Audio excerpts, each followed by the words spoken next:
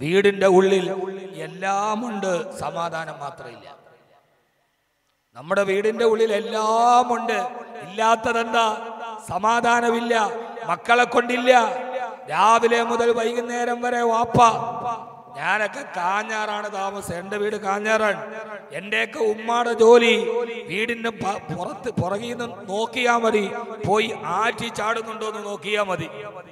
വേറെ ഞങ്ങൾ വേറെ എടുത്തോട്ടും പോവാനില്ല. എന്റെയൊക്കെ ചെറുപ്പകാലത്ത് ഉമ്മാന്റെ ജോലി അവമാരെങ്ങാനും വെള്ളം കൂടിയിരിക്കുന്ന സമയത്ത് പുഴയിൽ പോയി ചാടുന്നുണ്ടോ എന്ന്? നോക്കിയാ മതി. പുഴയിലല്ല വീട്ടിൽ മക്കളുണ്ടെങ്കിൽ ഉമ്മ സ്വസ്ഥമായിട്ട് ഉറങ്ങും. കാരണം എന്താ?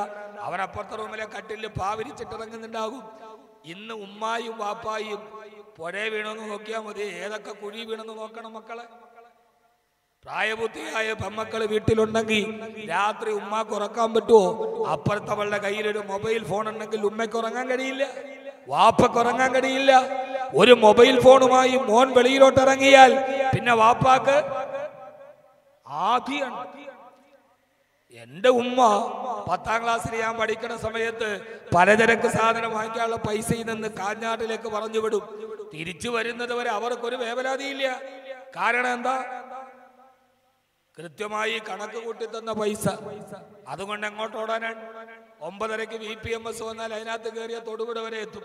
അതിനപ്പുറത്തോട്ട് പോകുമോ പോവില്ല. പക്ഷേ രാത്രിയിൽ വീടിന്റെ നാല് കഥകം കുച്ചിയിടാതെ ഇന്നൊരു വാപ്പയ്ക്ക് ഉമ്മക്ക് ഉറങ്ങാൻ പറ്റൂ. മിനിങ്ങാന്ന് പതിനേഴ് വയസ്സുകാരൻ ചാവക്കാട് നിന്ന് ഇറങ്ങിപ്പോയി. അനസ്. വാപ്പയും ഉമ്മയും അവനെ കാത്തിരുന്നു. വന്നിട്ട് മൂന്ന് ദിവസം കഴിഞ്ഞപ്പോ ആറ് നില കെട്ടിടത്തിൽ നിന്ന് ചാടി ആത്മഹത്യ ചെയ്ത പതിനേഴ് വയസ്സുകാരൻ മകന്റെ മയ്യത്താണ് വാപ്പയുടെയും ഉമ്മയുടെയും മുമ്പിൽ എത്തിയത് മാതാപിതാക്കൾ കട്ടപ്പെടാനേ നമുക്ക് കഴിയൂ.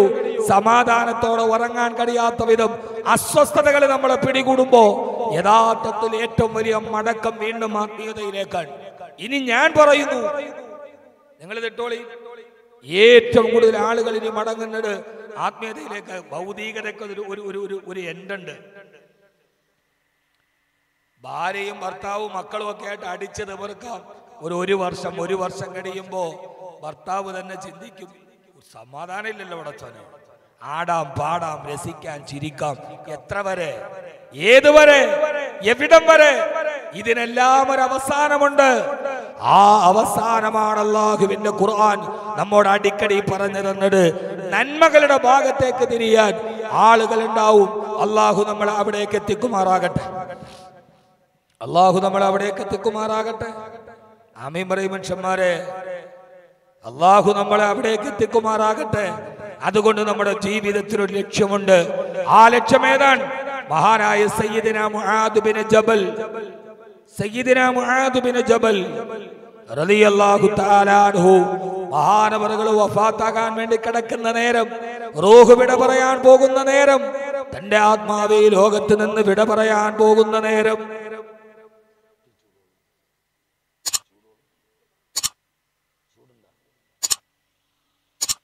അള്ളാഹു നമ്മളെ സ്വീകരിക്കട്ടെ. നമ്മളെനിക്ക് ശബ്ദത്തിന് നല്ല പ്രശ്നമുണ്ട്. നിങ്ങളൊന്ന് സഹകരിച്ചാലും നമുക്ക് മുമ്പോട്ട് പോവാം. നിങ്ങൾ ഈ ഒരനക്കവും ഇല്ലാതെ ബൈനൽ ഹയ്യവൽ മയ്യത്തായിട്ട് ഇങ്ങനെ ഇരുന്ന് അങ്ങനെ? ഹബീബായ നബി മുഹമ്മദ് മുസ്തഫ. ആ ഇതെന്താ അടിപാടായത്? ഒരുമാതിരി പെടാപ്പാട് പെടണമാതിരി. നമ്മുടെ സദസ്സിനൊരു ജീവനുണ്ടല്ലോ. ഇന്ന് റജബ് ഇരുപത്തേഴാണ്. പുണ്യമായ ദിനരാത്രങ്ങളുടെ പരിശുദ്ധമായ ഇടങ്ങളിലൂടെ ഇങ്ങനെ ദിവസങ്ങൾ കൊഴിഞ്ഞു കൊഴിഞ്ഞു പോവാൻ അള്ളാഹു നമ്മളെ സ്വീകരിക്കട്ടെ. സലാമുല്ലാ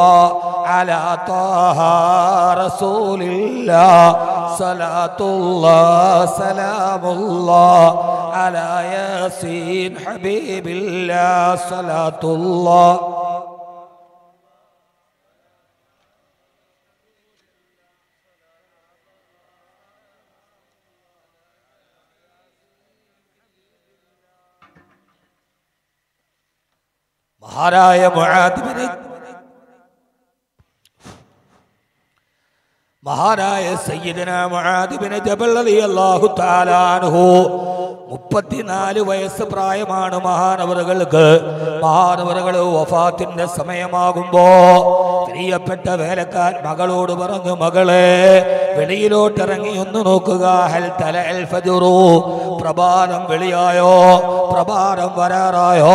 സുബഹിയുടെ നമസ്കാരത്തിന് സമയമായോ? സക്കറാത്തിന്റെ വേദനയിലും മരണവേദനയിലും പെടയുമ്പോ അള്ളാഹു ചോദിക്കുമ്പോ മകൾ പോയിട്ട് പറഞ്ഞു ഉപ്പാ ഇല്ല ഇല്ല ഫജർ വെളിവായിട്ടില്ല. ആ സുബഹിയുടെ ബാഗ് വിളിക്കുന്നതിനകത്ത് മുഴാദർ അലി അള്ളാഹു തലാണ് ഇരിക്കുമ്പോ മഹാനായ സയ്യിദുനാ സയ്യിദുനാ കുറെ കഴിഞ്ഞപ്പോ മകൾ വന്ന് പറഞ്ഞു ഉപ്പാ അതാ ഫജർ വെളിവായി സുബഹിയുടെ സമയമായി. മഹാനായ റളിയല്ലാഹു സുബഹി നമസ്കാരം നിർവഹിച്ചു. എന്നിട്ട് അള്ളാഹുവിനോട് ദുആ ചെയ്യുകയാണ് അല്ലാഹുവേ അല്ലാഹുവേ അല്ലാഹുവേ അല്ലാഹുവേ അല്ലാഹുമ്മ ഇന്നി അഊദു ബിക മിൻ ഹാദ സബാഹി ഇലന്നാർ. പടച്ചവനെ നരകത്തിലേക്ക് പോയി അവസാനിക്കുന്ന ഈ പ്രഭാതത്തിൽ നിന്ന് നിന്നോട് ഞാൻ കാവലിനെ തേടുന്നു റബ്ബേ. ഈ പ്രഭാതം പോയി അവസാനിക്കുന്നത് നരകത്തിലേക്കാണെങ്കിൽ ഈ പ്രഭാതത്തെ നിന്നോട് ഞാൻ കാവലിനെ തേടുകയാ. ഈ പ്രഭാതത്തിലാണ് ഞാൻ മരിക്കുന്നതെങ്കിൽ ആ പ്രഭാതം തീരുന്നതിന് മുമ്പാണ് എന്റെ മരണമെങ്കിൽ ആ മരണം എന്നെ നരകത്തിലേക്ക് എത്തിക്കുമല്ലോ റബ്ബേ. പടച്ചവനെ അല്ലാഹുവേ ഞാൻ നിന്നോട് ഈ പ്രഭാതത്തെ തൊട്ട് കാവലിനെ തേടുകയാണെന്ന് മഹാനായ മുആദ് ജബൽ അൻഹു. മഹാനവറകൾക്ക് രോഗം മൂർച്ഛിച്ചെന്നറിഞ്ഞപ്പോ സഹാബത്തുകൾ കാണാൻ വന്നു. ഹബീബായ നബി തങ്ങളുടെ സഹാബത്തുകൾ പ്രിയപ്പെട്ട സഹാബിയെ കാണാൻ വന്നു. മഹാനായ അൻഹുവിനോട് രോഗബാധിതനാണ് പ്ലേഗ് വന്നിട്ടാണ് അൻഹു വഫാത്താകുന്നത്. ആ പ്ലേഗ് വന്ന് വലത്തെ കൈത്തണ്ടയിൽ ഒരു മുട ഇങ്ങനെ വലുതായി. ആ മുടയുടെ വേദനയിൽ മഹാനവറുകൾ പെടയുകയാണ് മുആദ് റളിയല്ലാഹു അൻഹുവിന്റെ അടുക്കലേക്ക് കൊണ്ട് സാപത്ത് പറഞ്ഞു മുആദേ മുആദേ തഹൂറു ഇൻഷാ അല്ലാഹ് അള്ളാഹു നിങ്ങളുടെ രോഗം ശിഫയാക്കി തരട്ടെ. എന്ന് സഹാബത്തുകൾ ദുആ ചെയ്തപ്പോ പ്ലേഗ് ബാറ വന്ന കൈത്തണ്ടയിലും മുഴ വന്ന സഖ്യമായ വേദനയിൽ പെടയുമ്പോ അള്ളാഹു അണ്ണുവിനോട് സഹാബത്തിന്റെ ദുആയാണിത്. അള്ളാഹു നിങ്ങളുടെ രോഗത്തെ ശിഫയാക്കി തരട്ടെ. അള്ളാഹു എന്ന് പറഞ്ഞു വേണ്ട വേണ്ട വേണ്ട. എന്റെ രോഗം എനിക്ക് ഭേദമാകണ്ട. ഇങ്ങനെയാണ് ആത്മീയ പരിസരത്തിന്റെ വീരാത്മാക്കൾ ഉണ്ടാവുക. മലൽ ദുനിയാ ഈ ദുനിയാവിൽ ജീവിച്ച് ഞാൻ മടുത്തുപോയി. എനിക്ക് ഈ ദുനിയാവിന് വേണ്ട. ഈ രോഗം അള്ളാഹുവേ അള്ളാഹുവേ ഈ രോഗത്തെ വലുതാക്കി. ഈ രോഗത്തിന് നീ എന്റെ മരണം നൽകണേ അള്ളാഹുവേ. നമ്മളൊക്കെ രോഗ ശിഫയാണ് ദുആ ചെയ്യുന്നവരല്ലേ? മാതരലി അള്ളാഹുണ്ട് പറഞ്ഞു അല്ലാഹുവേ ഈ രോഗത്തെ വലുതാക്കിയിട്ട് എന്നെ മരണത്തെ നീ എളുപ്പമാക്കി തരണേ അല്ലാ. എനിക്ക് നിന്റെ അടുക്കലേക്ക് വരാൻ കൊതിയായി. എന്റെ ഹബീബ് പോയല്ലോ എന്റെ ഖലീൽ പോയല്ലോ എന്റെ സിദ്ദീഖ് പോയല്ലോ എന്റെ ഫാറൂഖ് പോയല്ലോ. പ്രിയപ്പെട്ട എല്ലാ കൂട്ടുകാരും പോയി എന്റെ പ്രിയപ്പെട്ട ഹബീബും പോയി. ഇനി എനിക്ക് എന്റെ ഹബീബിന്റെ അടുക്കലേക്ക് വരണം. എന്നിട്ട് മഹാനായ ബിൻ ജബൽ റളിയല്ലാഹു അൻഹു പറയാ അല്ലാഹുമ്മ ഇന്നി ഉഹിബ്ബു ദുനിയാ പടച്ചവനെ ഞാൻ ഈ ദുനിയാവിനെ ഇഷ്ടപ്പെട്ടത്. ഇല്ല അള്ളാഹുവേ ഈ ദുനിയാവിലേക്ക് ഞാൻ ആയുസിനെ ചോദിച്ചത് ഒരു ജീവിതം നീ എനിക്ക് തന്നത്. ആ ജീവിതത്തിൽ എന്റെ ഇഷ്ടം എന്താണെന്നറിയോ റബ്ബേ? എന്റെ ഇഷ്ടം വലാലി ബിനായിൽ കുസൂർ വലിയ വലിയ കൊട്ടാരങ്ങൾ വെക്കാനല്ല. വലിയ വെള്ളച്ചാട്ടങ്ങൾ ഒഴുക്കാനല്ല. വലിയ വലിയ പൂന്തോട്ടങ്ങൾ ഉണ്ടാക്കാനല്ല. മരണക്കടക്കയിൽ കിടന്ന് കൊണ്ട് പറയുകയാ എന്റെ പ്രിയപ്പെട്ട ചുബിത യൗവനമേ ആരുടെ വാക്കാണെന്നറിയോ? മുപ്പത്തിനാല് വയസ്സ് പ്രായമുള്ള കരികരുത്ത യൗവനത്തിലാണ് മരണം വരുന്നത്. ആ മുപ്പത്തിനാലാമത്തെ വയസ്സിൽ അൻഹു ആർജിച്ച ഒരു പദവിയുണ്ട്.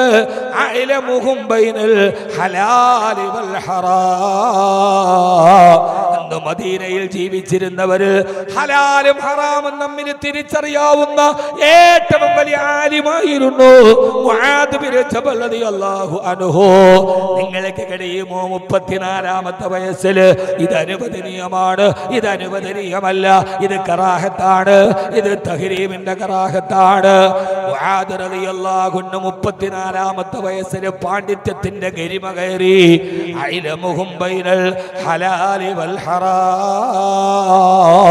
ഹലാലി ഹറാമുകളെ കുറിച്ചറിയാവുന്ന മദീനയിലെ ആലിമാണ്.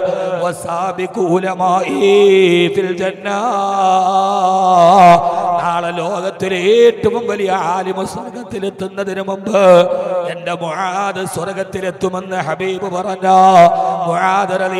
അൻഹു പറയാ ഞാൻ ഈ ദുരിയാവിൽ വന്നത് എന്തിനെന്നറിയോ വലിയ കെട്ടിടങ്ങൾ കെട്ടാനല്ല വലാലി വലിയ വെള്ളച്ചാട്ടങ്ങൾ ഉണ്ടാക്കാനല്ല ഞാൻ ഇവിടെ വന്നത് എന്തിനെന്നറിയോ എന്റെ ജീവിതത്തിൽ മൂന്ന് ലക്ഷ്യങ്ങളേ ഉള്ളൂ. ഒന്ന് ഉലമായി വലിയ വലിയ ആലിമ്യങ്ങളോട് സഹവസിക്കുക. അവരുടെ ദിക്റിന്റെ മതിലിസിന് പങ്കെടുക്കുക. വലിയ വലിയ ആലിമ്യങ്ങളോടുള്ള സുഖമത്തുണ്ടാവുക ഇതിനാണ് ഞാൻ വന്നിടുന്നത്. മുആദ് റളിയല്ലാഹു അൻഹു. മുആദ് റളിയല്ലാഹു അൻഹു പറയാ എന്റെ ഏറ്റവും വലിയ വീക്ക്നെസ് മൂന്ന് കാര്യങ്ങളാ. ഒന്ന് ഉലമാക്കളോടൊത്ത് സദസ്സിന് പങ്കെടുക്കുക. രണ്ടാമത് നല്ല നല്ല ചൂടുള്ള ദിവസത്തിൽ നോമ്പ് പിടിക്കുക. മൂന്ന് രാത്രി എഴുന്നേറ്റ് നിസ്കരിക്കുക ഈ മൂന്ന് ആഗ്രഹമല്ലാതെ എനിക്കൊരാഗ്രഹമില്ല റബ്ബേ അള്ളാഹുവേ ഇല്ലാലി മുആമലത്തിൽ ഉലമാ. ആ അവരുടെ കൂടെ ഇരുന്നിട്ട് എനിക്ക് പങ്കാളിയാവുക. ഞാനത് സാധിച്ചുറപ്പേ ലോകത്തിലെ ഏറ്റവും വലിയ ആലിമായ എന്റെ ഹബീബിന്റെ കൂടെ മദീന തിരിക്കാൻ എനിക്ക് എന്റെ റബ്ബ് ഭാഗ്യം നൽകി. നട്ടുച്ച നേരത്തെ ഞാൻ നോമ്പ് പിടിച്ചു. രാത്രി എഴുന്നേറ്റ് എന്റെ ഹബീബിന്റെ കൂടെ നിസ്കരിച്ചു. ഇനി എനിക്ക് എന്താ ആഗ്രഹമാണ് അള്ളാഹുവേ അള്ളാഹുവേ ഇനി എനിക്ക് ഈ ദുനിയാവ് വേണ്ടെന്ന് പറഞ്ഞ് മഹാനായ മുഴാദുബിനെ ജബൽ റളിയല്ലാഹു അൻഹു ഈ ലോകത്ത് നിന്ന് വിട പറഞ്ഞു അത്രേ.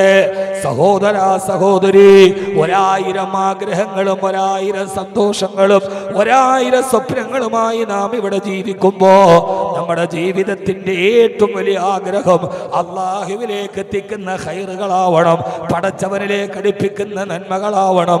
അള്ളാഹു നമ്മളെ നന്മകൾ ചെയ്യാൻ തൗഫീക്ക് നൽകട്ടെ. അമീൻ പറയും. അള്ളാഹു നമുക്ക് നന്മകൾ ചെയ്യാൻ തൗഫീക്ക് നൽകട്ടെ. അതുകൊണ്ട് ഓരോ സമൂഹവും ആണാകട്ടെ പെണ്ണാകട്ടെ എല്ലാവരും നന്മയിലോട്ടടുക്കുമ്പോഴാണ് സമൂഹം നന്നാവുക. ആ നന്മകളിലേക്ക് ഒരു ഉമ്മത്തിനെ കൊണ്ടുവരാനുള്ള സമുച്ചയമാണ് ഈ കാണുന്ന അറബി കോളേജുകൾ വിമൻസ് അക്കാഡമിയും. എന്റെ പ്രിയപ്പെട്ട സഹോദരങ്ങൾ സഹോദരിമാർ നന്മകളിലേക്ക് വരണം. നന്മകൾ ചെയ്യാൻ ആഗ്രഹമുണ്ടാകണം. മഹതിയായ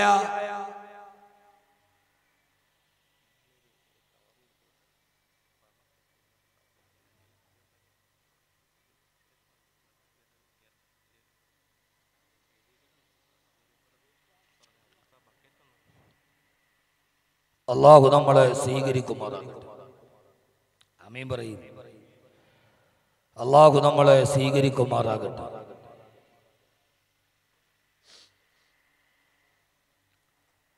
ഇന്നലെ ഒരു കവറ് കൊടുത്തു വിട്ടിട്ടുണ്ട്. ആ കവറ് എല്ലാവരും തിരിച്ചു കൊടുക്കുക അതിനകത്ത്. വെറുതെ അല്ല കാലിയായിട്ടല്ല. പൈസ ഇട്ടിട്ട് കൊടുക്കുക. അതോടൊപ്പം തന്നെ ഈ സ്ഥാപനത്തിനും ഇതിന്റെ സംഘാടനത്തിനും ധാരാളം ചെലവുകളുണ്ട്. ആ ചെലവുകൾക്ക് വേണ്ടി ഒരു നല്ല ഹദിയ അതിലേക്ക് ഇട്ടുകൊടുക്കുകയും ചെയ്യും. അള്ളാഹു സ്വീകരിക്കുമാറാകട്ടെ. അള്ളാഹു പറക്കത്ത് പ്രദാനം ചെയ്യട്ടെ. അള്ളാഹു നമ്മുടെ എല്ലാവരുടെയും ജീവിതത്തിൽ എല്ലാവിധ സന്തോഷവും അള്ളാഹു പ്രദാനം ചെയ്ത് അനുഗ്രഹിക്കുമാറാകട്ടെ. ഈ സദക്ക ചെയ്യുന്ന സഹോദരങ്ങളുടെ ഹലാലായ മുറാദിസുകൾ അള്ളാഹു ഹാസിലാക്കി തരുമാറാകട്ടെ.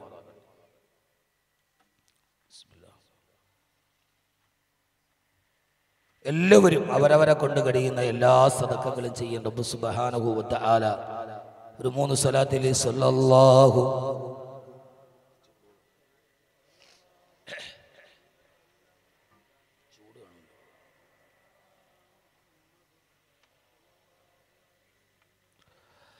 اللهم صل على محمد يا رب صل عليه وسلم അല്ലാഹുവേ നീ സ്വീകരിക്കണേ തമ്പുരാനെ.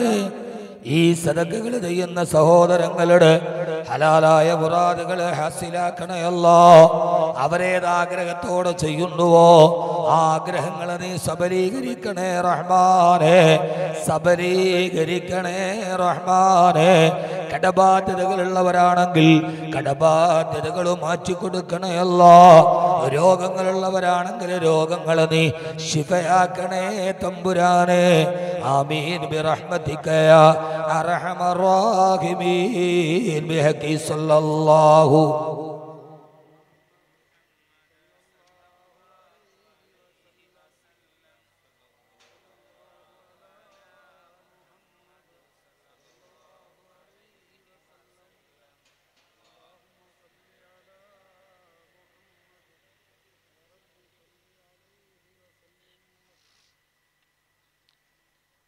മഹദിയായ ഹബീബായ നബി മുഹമ്മദ് മുസ്തഫ സല്ലല്ലാഹു അലൈഹി വസല്ലമയുടെ ആദ്യത്തെ ഹിജറ ഹബിഷയിലേക്ക് മഹാനായ ജയഫർ ബിൻ അബി താലിബ് റളിയല്ലാഹു അൻഹു അവിടുത്തെ ഭാര്യ റുമൈസ റളിയല്ലാഹു അൻഹ അവർ രണ്ടുപേരും ഹിജറ പോയി ആദ്യത്തെ ഹിജറ സംഘത്തിൽ. പോകുന്നത് എത്തോപ്യയിലേക്കാണ് ആഫ്രിക്കയിലേക്ക്. ആദ്യമായി കടൽ കടന്നിട്ടുള്ള ഹിജറയാണത്. സഹാബാക്കളുടെ ഇടയിൽ ആദ്യമായി കടൽ കടന്നവർ ഇതേവരെ കടൽ കടന്നിട്ടില്ല. കപ്പലിലേറിയുള്ള യാത്ര ഇന്നത്തെ പോലെ സൗകര്യമുള്ള കപ്പലല്ല. ആ കപ്പലിൽ എൺപതോളം ആളുകൾ. ആ കൂട്ടത്തിൽ മഹാനായ അലി റലി അള്ളാഹു അനുഹു മഹതിയായ ഉമൈസ റലി അൻഹ അവരുടെ കുഞ്ഞുമായിട്ട് ആ കൈക്കുഞ്ഞിനെയും കയ്യിൽ പിടിച്ച് ദിവസങ്ങളോളം ഭാഷയറിയാത്ത പരിചിതമല്ലാത്ത ആഫ്രിക്കയിലേക്ക് ഹിജറ പോയടാൻ ഞാൻ പറയുന്നത് ഒരു സ്ത്രീ വിദ്യാഭ്യാസത്തിന്റെ ആവശ്യകത ചരിത്രത്തിന്റെ റുമൈസാകുമാരെ സിട്ടിക്കാങ്കടിയുന്ന ഒരു വൈജ്ഞാനിക വിപ്ലവത്തിന്റെ മേഖലകൾക്ക് തിരികൊളുത്തണം അവരവിടെ നിന്ന് മാസങ്ങളോളം സഞ്ചരിച്ച് ഹബീബായ നബിതങ്ങൾ പറഞ്ഞു ജഫറേ എത്തോപ്പിലേക്ക് ഇതര പോയിക്കൊള്ളുക? സഹോദര ആരാരുമില്ലാത്ത സർവതും മക്കയിൽ ഉപേക്ഷിച്ച് ആഫ്രിക്കയിലേക്ക് കരുത്തിരുണ്ട ആഫ്രിക്ക ഭാഷ അറിയാത്ത ആഫ്രിക്ക പരിചിതരായ ഒരാൾ പോലുമില്ലാത്ത ആഫ്രിക്കയിൽ അറുപതോളം വരുന്ന സാപത്തുകൾ അവരുടെ കുടുംബസമേതം എത്തോപ്പിയിലേക്ക് ഹിതറ പോയി. പക്ഷേ മക്കയെ കുറിച്ചുള്ള അറിവില്ല. അള്ളാന്റെ റസൂലിനെന്തു പറ്റിയെന്നറിയില്ല ഹബീബിന്റെ അവസ്ഥ അറിയില്ല. അങ്ങനെ മാസങ്ങളോളം വർഷങ്ങളോളം ആ ഇരുണ്ട ആഫ്രിക്കയിൽ അവരിങ്ങനെ കഴിച്ചു കൂട്ടുമ്പോ ഞാൻ ആ ചരിത്രം പറയലല്ല അവസാനമാണ് അറിയുന്നത്. ഹബീബായ നബിതങ്ങൾ ഹിജറ ചെയ്തു മദീനത്തെത്തിയിട്ടുണ്ട് എന്ന്. മക്കയിലെ പീഡനങ്ങൾ അവസാനിച്ചല്ലാണ്ട് റസൂലു മദീനയിൽ വന്നെന്നറിഞ്ഞപ്പോ മഹതിയായ ഉമൈസാഹു ആ പോയ സംഘം മദീനയിലേക്ക് എത്തി. ഹബീബായ നബിതങ്ങളെ കണ്ടിട്ട് മാസങ്ങളായി അല്ലാണ്ട് റസൂലിനെ കാണാൻ ദീർഘനാൾ കട്ടപ്പാടുകൾ സഹിച്ച് യാത്ര ചെയ്തു മദീനയിൽ വന്നപ്പോ മസ്ജിദുൻ നബവിയിൽ അള്ളാന്റെ ഹബീബില്ല ചോദിച്ചപ്പോ ആരോ പറഞ്ഞ് ഹഫ്സ ബേബിയുടെ വീട്ടിൽ അല്ലാണ്ട് റസൂലുണ്ടെന്നറിഞ്ഞ് മാസങ്ങൾക്ക് ശേഷം പ്രിയപ്പെട്ട ഹബീബിനെ കാണാനുള്ള ആഗ്രഹത്തോടെ മഹതിയായ നേരെ ഹബീബിന്റെ വീട്ടിൽ വന്നപ്പോ ഹഫ്സ ബീവിയുടെ വീട്ടിലെത്തി. അല്ലാണ്ട് റസൂൽ ഹഫ്സ ബീവിയുടെ വീട്ടിലുമില്ല.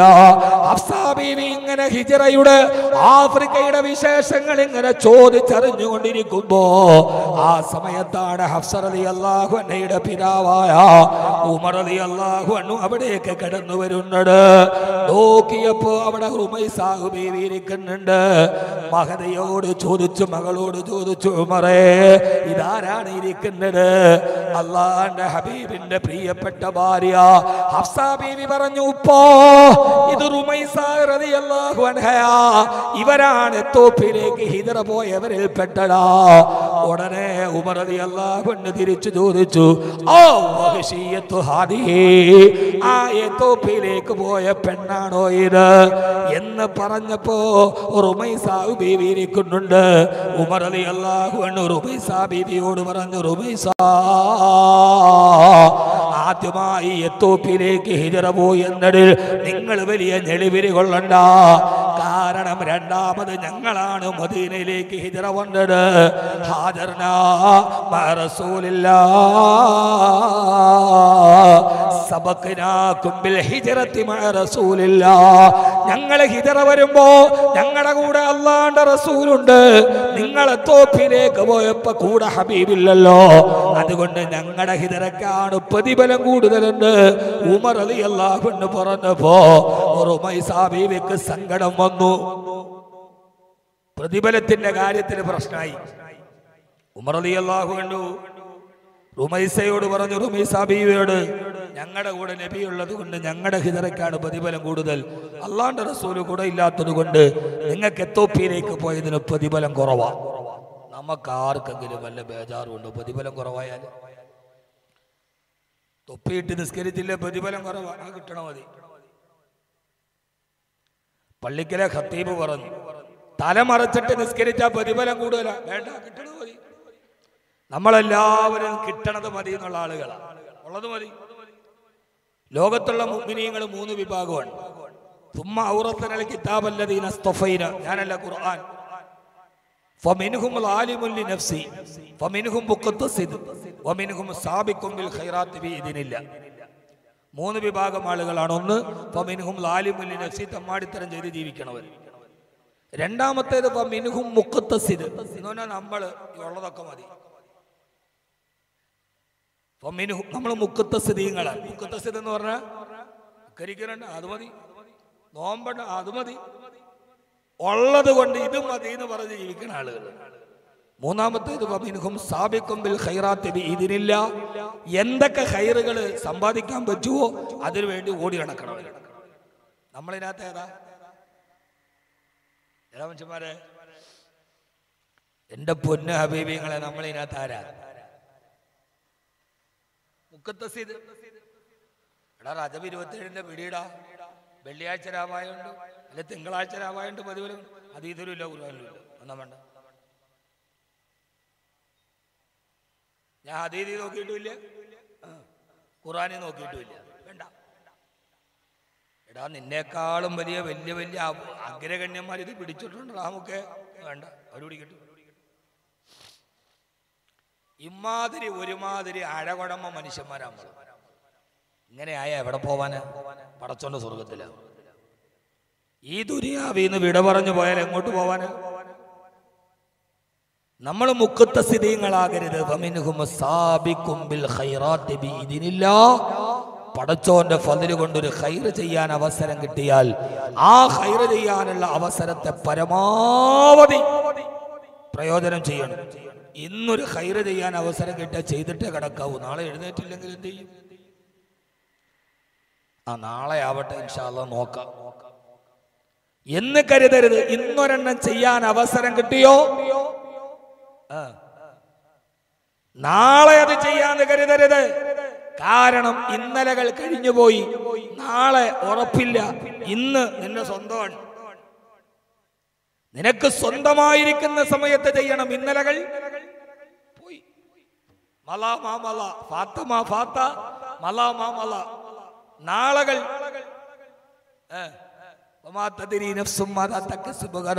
നാളെ എന്നത് ഉറപ്പില്ല. ഇന്ന് ഇപ്പോ നമ്മുടെ സ്വന്തമാണ് ഇപ്പൊ ചെയ്യാൻ പറ്റുമോ ചെയ്തോ. നാളെ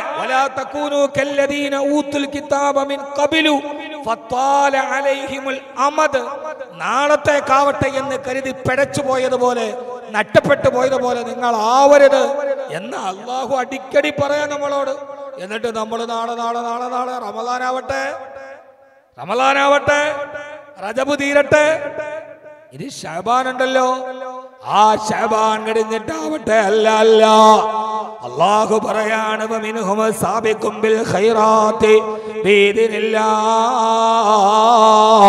അള്ളാഹുവിന്റെ മാർഗത്തിന് നന്മ ചെയ്യാൻ അവസരം കിട്ടിയാൽ ഓടുന്നവർ ഉമർ അലി അള്ളാഹു അൻഹു റുമൈസാ ബീവിയോട് പറഞ്ഞു റുമൈസാ സബക്കിനാക്കും ബിൽ ഹിജ്റത്തി മഅ റസൂലില്ലാഹ്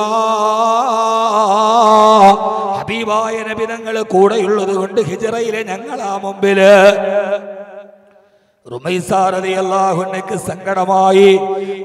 ബീവിയുടെ മുമ്പിലിരുന്ന് കരഞ്ഞിട്ട് പറഞ്ഞു വല്ലാഹി പടച്ചവനെ തന്നെയാണ് സത്യം. ഞാനിതല്ലാണ്ട് റസൂലിനോട് പരാതി പറഞ്ഞിട്ടേ ഇരിക്കൂ കടൽ കിടന്നിട്ട് തിരമാലകളുടെ മുകളിലൂടെ പിഞ്ചു പൈതലിനെയും പിടിച്ച് ഭാഷയറിയാത്ത ആഫ്രിക്കയിൽ പോയി മാസങ്ങൾ പട്ടിണി കിടന്ന് തിരിച്ചു വന്നപ്പോ ഞങ്ങൾ ചെയ്ത സൽക്കർമ്മത്തിന് പ്രതിഫലം കുറവാണോ? ഞങ്ങൾക്കിത് സഹിക്കാൻ കഴിയില്ല. ബഹുമാനപ്പെട്ട അൻഹ നേരെ ഹബീബായ നബി തങ്ങളുടെ മുമ്പിലെത്തി. എന്നിട്ട് പറഞ്ഞു യാ റസൂലല്ലാ ഞങ്ങളുടെ എത്തോപ്പിയിലെ ഹിതരെ കുറിച്ച് ഉമർ പറയുന്നത് അങ്ങ് കൂടെ ഇല്ലാത്തത് കൊണ്ട് ഞങ്ങളുടെ ഹിതരക്ക് പ്രതിഫലം കുറവാണ്ടോ. ഞങ്ങൾ നാളെ പരലോകത്തിന് പുറകിലാകുമോ നബിയെ? ആവലാതിയോടെ വേവലാതിയോടെ വന്ന. റുമൈസാറിയല്ലാഹു തലാൻഹയോട് ഹബീബായ നബിതങ്ങളും മന്ദസ്മിതം തൂകിയിട്ട് പറഞ്ഞു റുമൈസ പേടിക്കണ്ട പേടിക്കണ്ട. ഇന്നലകും മജറം വാഹിദ. ഉമറിനും കൂട്ടർക്കും ഒരൊറ്റ പ്രതിഫലമേയുള്ളൂ ഒലക്കും ഇന്നലക്കും മജറേ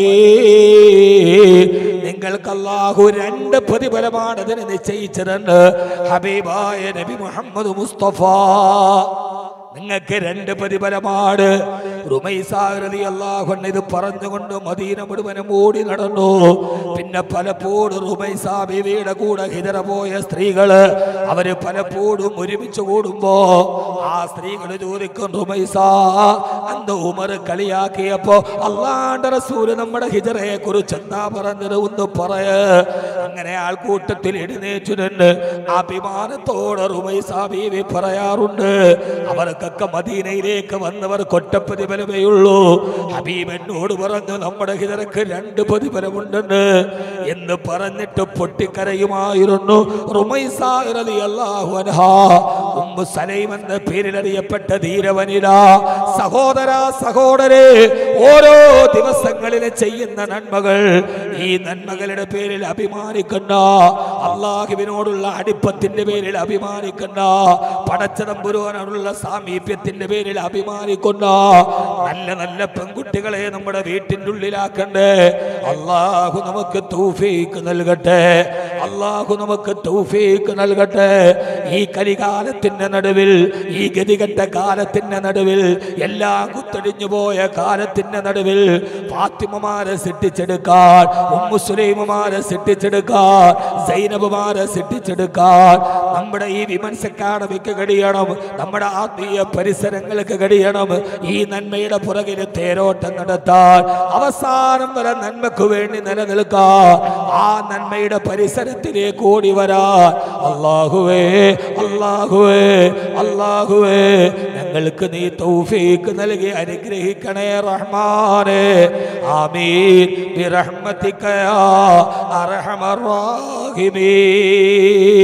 ചെയ്യുന്ന നന്മകളാണ് പ്രധാനം ചെയ്യുന്ന ഹൈറുകളാണ് പ്രധാനം അള്ളാഹു നമ്മളെ അനുഗ്രഹിക്കട്ടെ.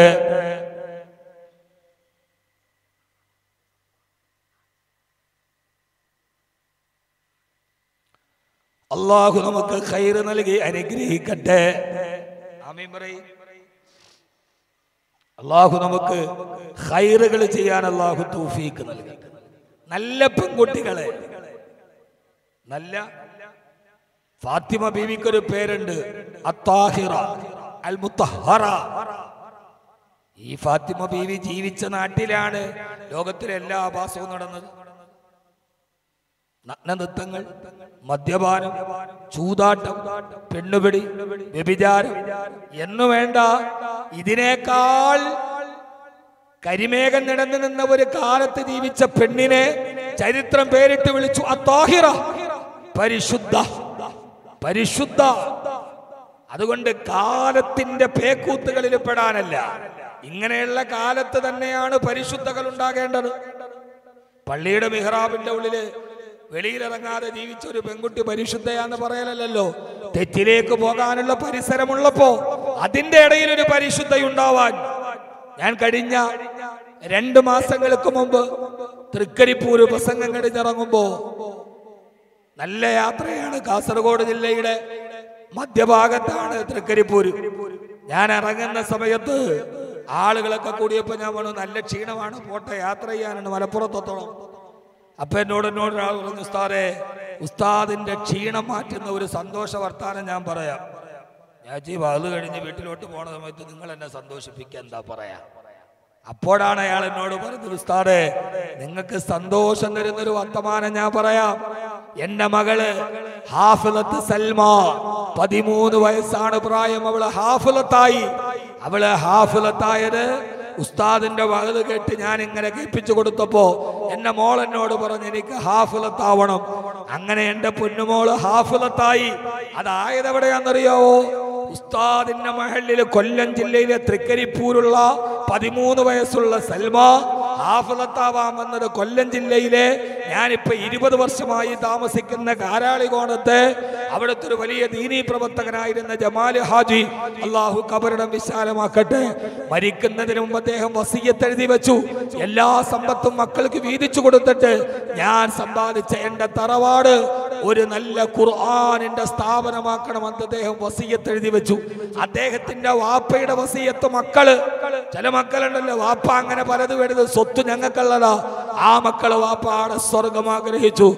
അദ്ദേഹത്തിന്റെ മക്കൾ രണ്ടുപേരും ആലിമീങ്ങളാണ് ഹാഫിളീങ്ങളാണ് ഹാഫിൽ ബിലാൽ ബാക്കവി ഹാഫിൽ അമീർ മൗലവി ബാക്കവി.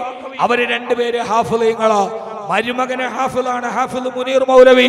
അവർ ഉപ്പാന്റെ ആഗ്രഹം പോലെ അവിടെ ഹീഫിൽ കോളേജ് തുടങ്ങി സ്ഥാടെ അവിടെയാണ് എന്റെ മോൾ ഹാഫിലത്തായത് ഹാഫിലത്തായെന്ന് മാത്രമല്ല അവൾ സനത് മേടിക്കാൻ വേണ്ടി ഇഷാ നമസ്കാരം കഴിഞ്ഞ എന്റെ മോൾ ഖിയാമുല്ലയിൽ രാവിലെ സുബഹി വരെ ഖിയാമുല്ലയിലിന് ഇമാമത്ത് നിന്ന് അവൾ ഖുർആൻ ആദ്യം മുതൽ അവസാനം വരെ ഒരു തെറ്റുപോലുമില്ലാതെ ഓതി പൂർത്തിയാക്കി. ഇഷാ കയാമുല്ലയിലെ ഫാത്തിഹയിൽ തുടങ്ങിയിട്ട് സുബഹിയായപ്പോ സൂറത്തു നാസ് വരെ പതിമൂന്ന് വയസ്സുകാരി ഒരു തെറ്റ് പോലും ഇല്ലാതെ ഓതി പൂർത്തിയാക്കി പിറ്റേ ദിവസം കാസർഗോഡ് വെച്ച് സമസ്ത കേരള ജമിയത്തുലമയുടെ ജനറൽ സെക്രട്ടറി ആലിക്കുട്ടി ഉസ്താദ് എന്റെ മോൾക്ക് ഒരു ആദരവ് നൽകുന്നുണ്ട്.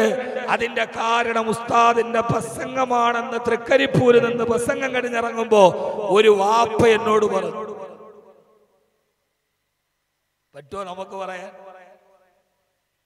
പറ്റുമോ നമ്മുടെ വീട്ടിൽ പതിമൂന്ന് വയസ്സുള്ള ഒരു മോളെ ഇഷാ മകരി അല്ല മക ഇഷായിന്റെ ഈ സുബഹിയുടെ ഇടയിൽ നിസ്കാരത്തിൽ ഖുർആൻ ഒരു തെറ്റില്ലാതെ ഓതി പൂർത്തിയാക്കുക. ഹാഫിളത്ത് സൽമ. പിറ്റേ മാസം ഞാൻ അവളുടെ മഹല്ലിൽ വാതിന് പോയി. ആ മഹല്ല് കമ്മിറ്റി അവളെ ആദരിച്ചു. ഇൻഷാ അല്ലാ ഇതേപോലെയുള്ള പെൺമക്കളെ നമ്മുടെ വീടിന്റെ ഉള്ളിൽ ഉണ്ടാക്കാൻ? വാപ്പാന്റെ കൈ പിടിക്കാൻ ഉപ്പാന്റെ കൈ പിടിക്കാൻ അങ്ങനെ സ്വർഗത്തിലേക്ക് എത്താൻ കഴിയുന്ന നല്ല മക്കളെ അള്ളാഹു നമുക്ക് നൽകി അനുഗ്രഹിക്കട്ടെ. നല്ല നല്ല പൊന്നുമക്കളെ അള്ളാഹു നമുക്ക് നൽകി അനുഗ്രഹിക്കുമാറാകട്ടെ. അതുകൊണ്ട് നാജയുടെ പ്രവർത്തനത്തിനു വേണ്ടി ഒരു സഹോദരി ഒരു സ്വർണവള ഒരു പവനുള്ള ഒരു സ്വർണവള മാഷാ കുലു തക്ബീർ തക്ബീർ തക്ബീർ അള്ളാഹു സ്വീകരിക്കുമാറാകട്ടെ. ആ സഹോദരിക്ക് ഈ സദക്കയുടെ ബറക്കത്ത് കൊണ്ട് അള്ളാഹു അതുപോലെ വിശുദ്ധ ഖുർആൻ ഒരൊറ്റ രാത്രി കൊണ്ട് ഓതി പൂർത്തിയാക്കുന്ന ഒരു ഹാഫലത്തായ പൊന്നുമോള നൽകണേ അല്ലാ. ചോദിക്കാതെ നമ്മുടെ പ്രിയപ്പെട്ട പെൺകുട്ടികൾക്ക് ദീൻ പഠിപ്പിക്കാനുള്ള ഈ മഹാസംരംഭത്തിന് വേണ്ടി തന്ന ഈ വലിയ സദക്കയെ നീ സ്വീകരിക്കണയല്ല സഹോദരിമാരെ ഒരു സ്വർണാഭരണം ഈ പെൺകുട്ടികൾക്കാണ് സ്ഥാപനം വേണ്ടത്. ആൺകുട്ടികൾക്കല്ല. ആൺകുട്ടികൾക്ക് ധാരാളം സ്ഥാപനമുണ്ട്. പെൺകുട്ടികൾക്ക് പഠിക്കാൻ. എത്രയോ ആളുകളാ ഹംദാനി വരുന്നതെന്നറിയോ? സ്ഥലം പെൺകുട്ടികൾക്കുണ്ടോ? പെൺകുട്ടികൾക്കുണ്ടോ? ഇപ്പൊ ഹംദാൻ ഫൗണ്ടേഷൻ അഡ്മിഷന്റെ ടൈമാണ് എത്ര കോളുകൾ പെൺകുട്ടികൾക്ക്? ഇല്ല. അതിനൊരു വലിയ ബദലാണ്. യഥാർത്ഥത്തിൽ നമ്മൾ സ്വർണം അഴിച്ചു കൊടുക്കണമെങ്കിൽ രാജ്യക്ക് വേണ്ടി കൊടുക്കണം. കാരണം പെൺമക്കളെ സുരക്ഷിതമായി പഠിപ്പിക്കുന്ന സ്ഥാപനങ്ങളില്ല.